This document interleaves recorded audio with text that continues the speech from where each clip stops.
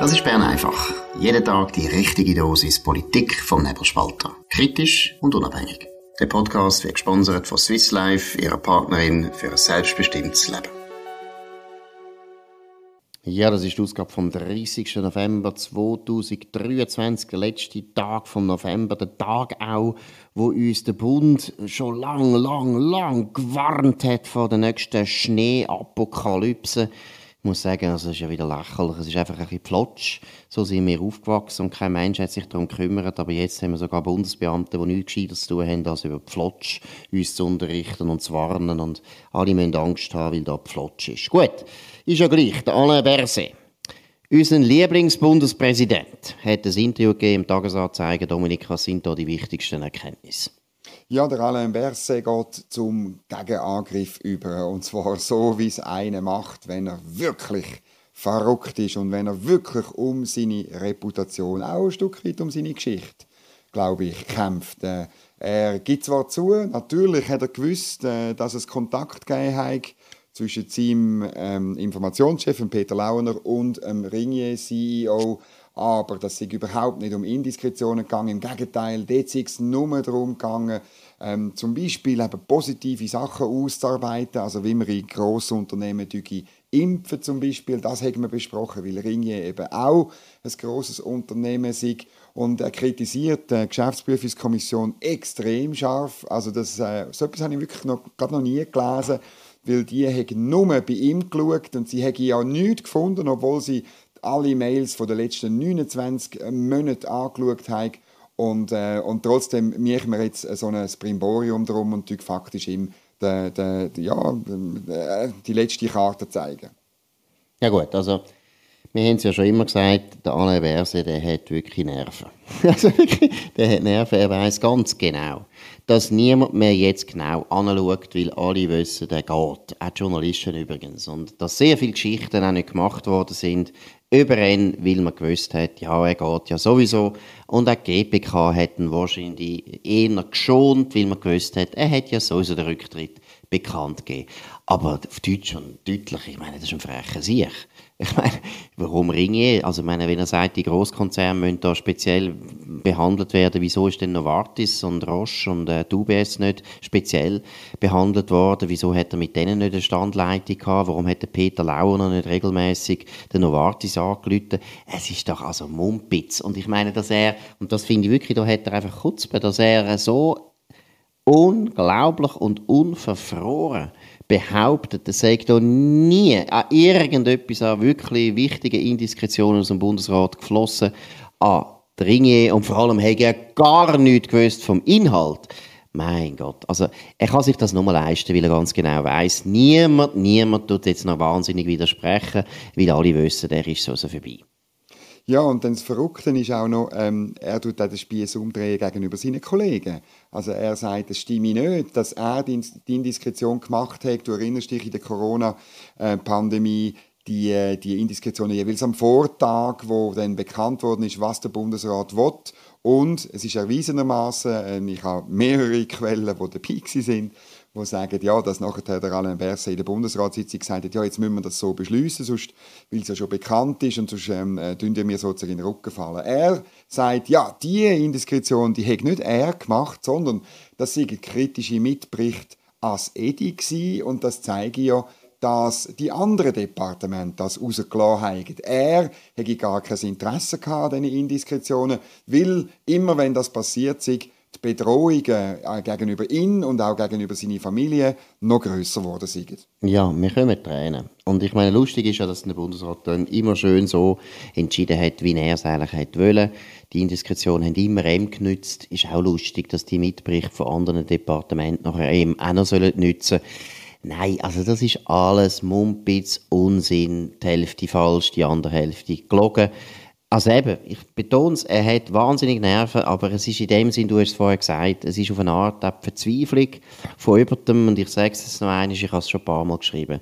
Das war ein grosses Talent, ein grosses politisches Talent, und er hat nichts daraus gemacht. Er hat nichts gemacht. Er ist jetzt über 50 und muss sich fragen, was habe ich eigentlich hinterlassen im Land. Er hat eine riesige Chance gehabt, hat einen unglaublichen Einfluss gehabt in dem Bundesrat. Und abgesehen von der Corona-Zeit, wo er eine wichtige Rolle gespielt hat und wo er auch nicht alles falsch gemacht hat, aber auch nicht alles richtig, muss man auch sagen. Aber abgesehen von dieser Zeit hinterlässt er gar nichts, obwohl er ein riesen Talent ist, wie man ja jetzt auch irgendwie merkt, wo jetzt Nachfolger äh, auftreten, der John Pult, ein äh, unglaublich junger, ewiger Student und der Beat Jans, äh, Jans auch ein ewiger Student, einfach sehr viel älter. Da ist der Berse schon eine andere, eine andere Klasse und ist wirklich ein anderes Kaliber, aber nichts hat er eigentlich erreicht. Ja, aber es bleibt halt vor allem die Geschichte ähm, an ihm hängen und ähm, er kämpft jetzt um sein Überleben. Das ist irgendwo ähm, verständlich. Am meisten schießt er übrigens der Uli Maurer an, weil der hat äh, gemäß dem Bericht von der Geschäftsprüfungskommission gesagt, er hat am Schluss sogar die Mitbericht an Berse, also, also, als, als Edi, hat er selber verfasst, damit es keine ähm, Leaks gäbe. Und äh, das muss man natürlich am Alain Berset nicht zweimal sagen. Er tut den Spieß umkehren und sagt, wenn behauptet wird, ein Mitglied des Bundesrates habe aus Angst vor Indiskretionen Mitberichte selbst verfasst, wie es im GPK-Bericht heißt, dann ist das vor allem ein Misstrauensvotum gegen das eigene Departement, das also die, äh, die, die Sachen dann eben äh, Medien das ist wirklich super. Vor allem, wenn man, wenn man das Departement von Ueli Maurer kennt äh, Uli Maurer hat nicht alles richtig gemacht und auch Personalpolitik hat er durchaus auch Fehler gemacht, aber Loyalität ist in seinem Departement nicht ein grosses Problem gewesen, muss man jetzt auch mal sagen.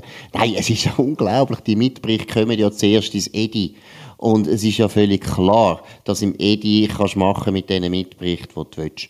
Es ist insofern auch tragisch, weil der Uli Maurer, das weißt du auch, hat uns ja auch erzählt, er sei eigentlich mit dem Alain Berset doch am Schluss gleich am besten ausgekommen, weil mit dem hätte er noch einen Witz machen Es zeigt auch wieder noch zum letzten Mal das Talent vom Alain Berset, wenn du angegriffen wirst, wenn sie dich kritisieren, wenn sie dich verurteilen und verdammen, ist, verdammt ist immer gut, wenn er einfach zurück ist. Da hat er schon recht.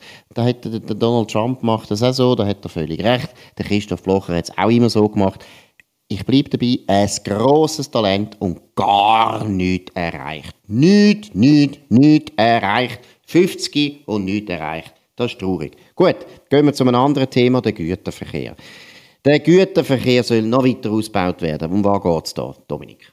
Ja, der Bundesrat will die Bahn im Güterverkehr durch die Alpen weiter stärken. Er hat darum zusätzliche Subventionen beschlossen, wo insbesondere für kürzere Strecken, also äh, unter 600 Kilometer äh, denen zu gut kommen, damit die mehr Subventionen bekommen, damit mehr ähm, äh, Alpenverkehr äh, auf die Bahn verleiht wird. Das hat natürlich damit zu tun, dass sich das einfach auf der Bahn eigentlich sonst nicht lohnt.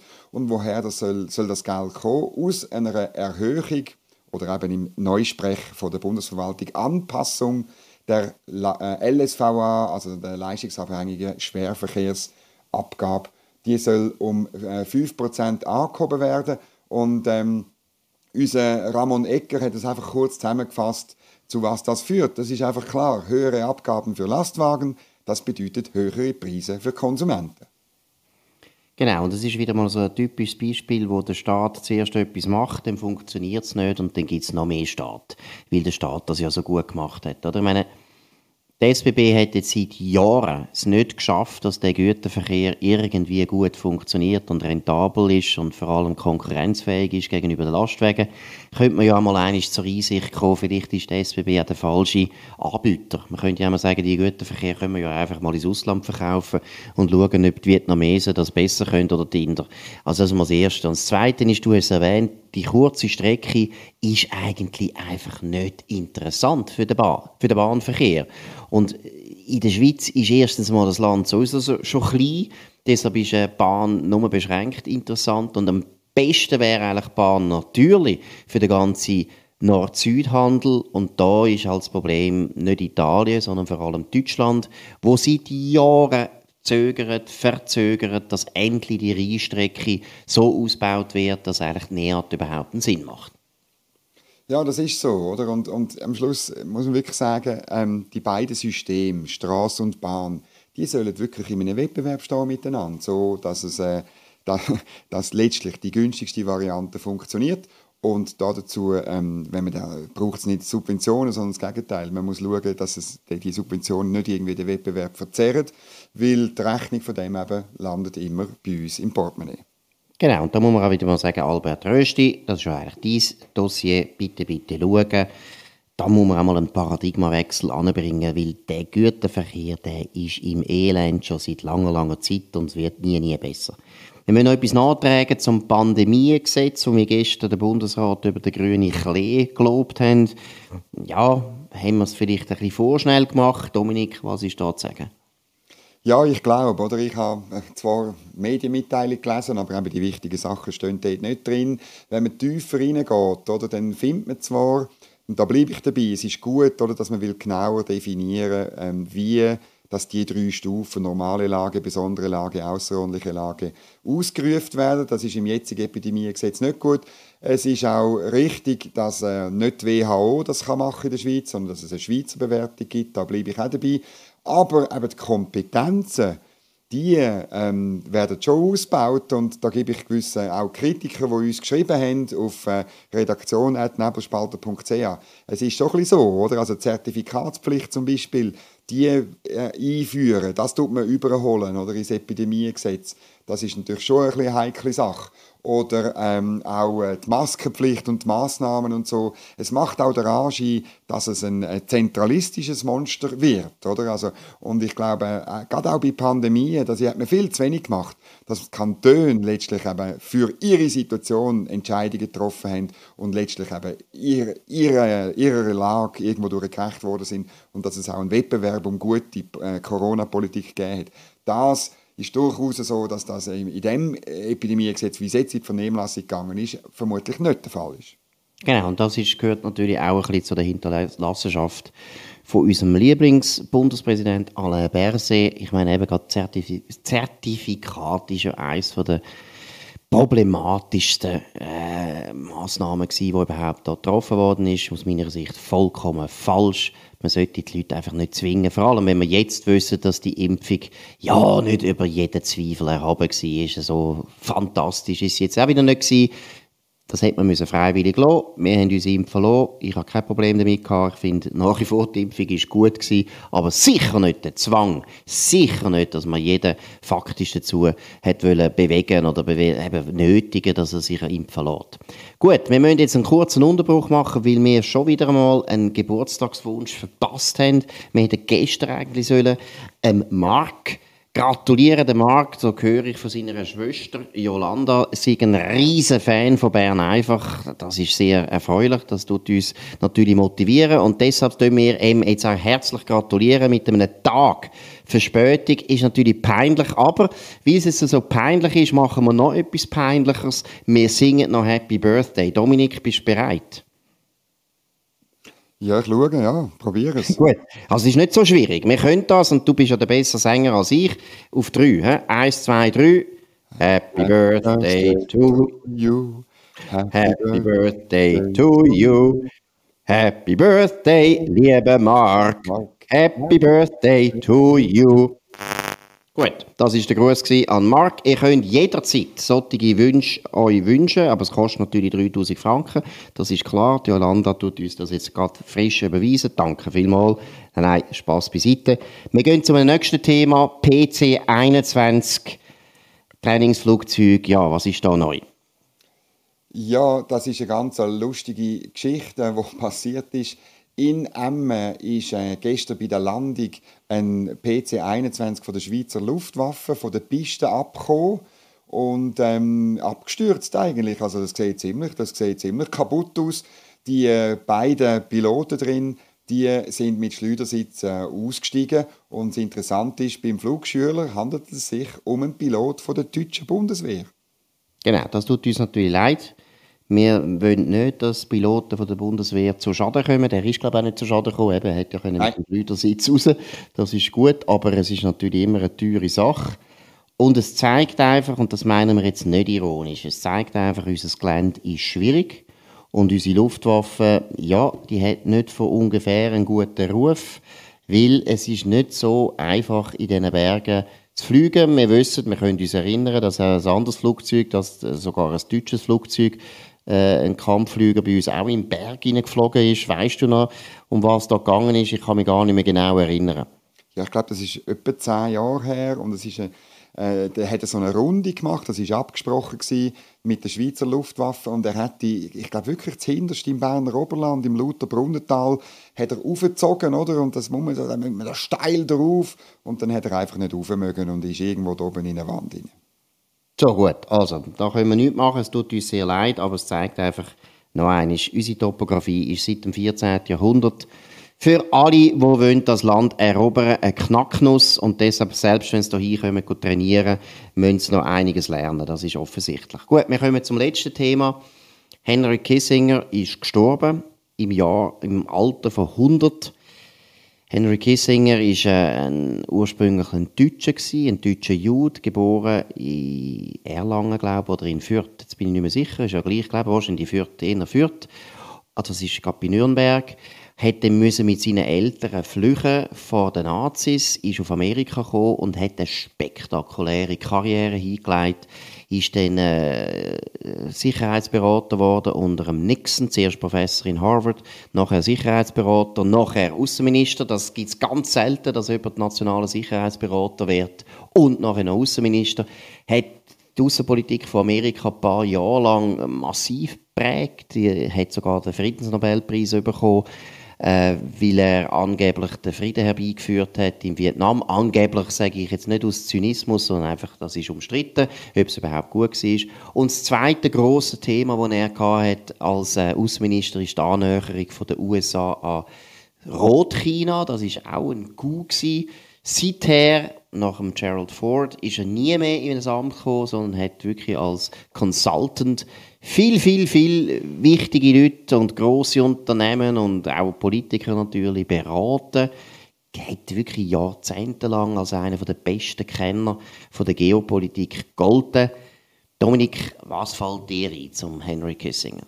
Ja, es ist eine wahnsinnige Figur. Es ist eine von denen, wahrscheinlich die letzte, wo das kurze Jahrhundert vom Ersten Weltkrieg bis zum Ende vom Kalten Krieg gelebt haben. Also vom Ende vom Ersten Weltkrieg äh, bis zum Ende vom Kalten Krieg. Noch weit darüber aus hat er gelebt, noch weit darüber aus hat er gute, spannende Bücher geschrieben, wahnsinnig umstritten, insbesondere links. Da sieht man einen, äh, in ihm einen, einen furchtbaren äh, Kriegsverbrecher, wo man ständig müsste eigentlich vor vor ein Tribunal bringen, weil er hat, er hat auch den Einfluss von den USA eigentlich immer für positiv erachtet. Der Coup in China hat insbesondere natürlich zum Ziel gehabt, ähm, äh, mit China gut auszukommen, damit man eine Alternative hat zur Sowjetunion und die Sowjetunion letztlich äh, allein dort steht. Das ist ihm gelungen.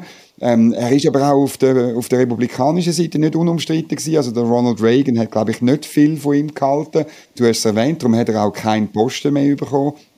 Und was mir dann auch noch dazu einfällt, das ist der berühmte Begriff von der Realpolitik, oder? Und das ist in der heutigen Zeit, glaube ich, schon noch speziell. Er ist ein Typ Politiker, der klar gesagt hat, Außenpolitik muss sich an den realen Machtverhältnissen, an den Interessen der Länder ausrichten und nicht irgendwelche Luftschlösser verfolgen. Das, glaube ich, das bleibt von ihm auch und das ist, glaube ich, auch ein guter Ratgeber für heutige Außenpolitik.